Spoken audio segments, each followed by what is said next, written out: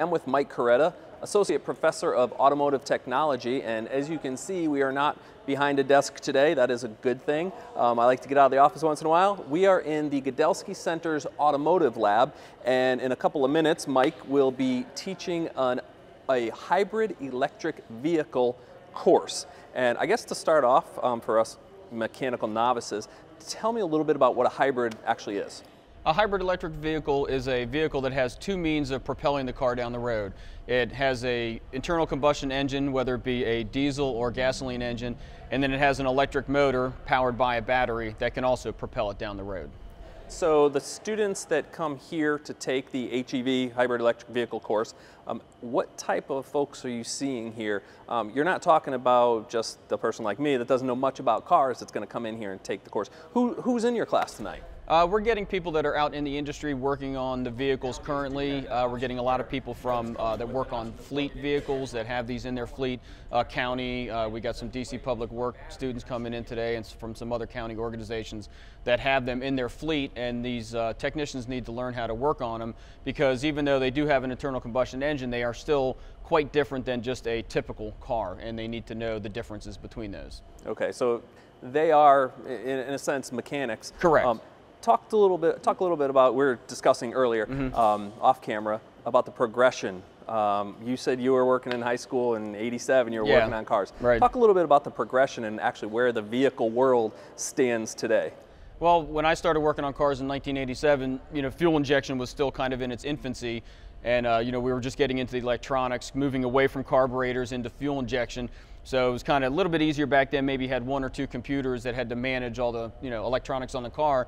Where nowadays you can have five to 25 computers on a car managing you know all the systems on the car nowadays. Trans controllers, uh, body controllers, engine controllers, you know you know memory seat heat heater controllers that control the the seats, the power seats, and the mirrors and the windows that tie all that stuff together. So they're very complicated nowadays. And there is, uh, you were telling me again a little bit off uh, off camera there's difference between uh, the hybrid electric vehicle and then there's another car behind me. Um, tell us a little bit about the, uh, the intricate differences between these vehicles that you guys are going to be working on in a little while. Right, well the hybrid electric vehicle, like I said, has the two means of propelling it, either battery operated or by the internal combustion engine, and a, a pure electric vehicle like the Nissan Leaf that we have right here behind you is strictly electric. So you'd have to plug it in. Literally plug yeah, it you in. literally plug it in. What, usually when you get home, if they have a plug-in station, maybe somewhere at you where you work, maybe they have something like that. So, so that's the main difference. Is a pure electric vehicle just has one means of propelling the car down the road, where the hybrids have have two. So when the battery gets low in your Prius, then the internal combustion engine will kick on and can drive the car down the road and you know recharge the battery while it's driving or while it's braking. Okay, and the course itself, it's not, this is a short course, and just tell us about um, how long the course is and uh, what you're going to kind of receive when you, when you uh, finish the course. Right, it's a, we do it over the course of three consecutive evenings, uh, well, three weeks. We do it on Mondays, so we do one Monday and then you know, two after that. Uh, and it's four, four hours each, so it's 12 hours total. And this is just a very basic class. I mean, we kind of just scratched the surface onto what these vehicles are about.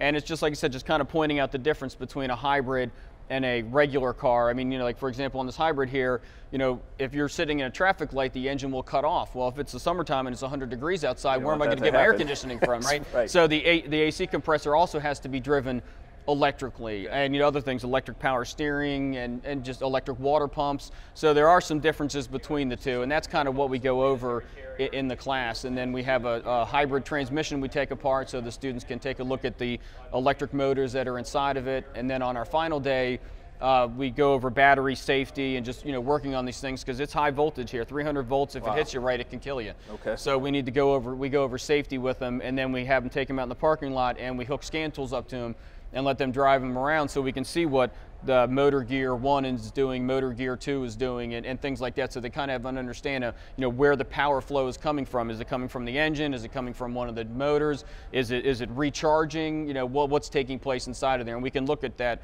with our scan tools that we have here at the school. And then when you're done with the 12 hours, you get a workforce development and continuing education certificate. Correct. Um, and a lot of folks are actually doing that from the public sector mm -hmm. um, and doing it for their jobs to get that certificate. So um, I think that's about uh, uh, all the time we have today, Mike. I want to thank you no uh, for letting us come in here into this into this garage and uh, getting me away from my desk, so I appreciate that.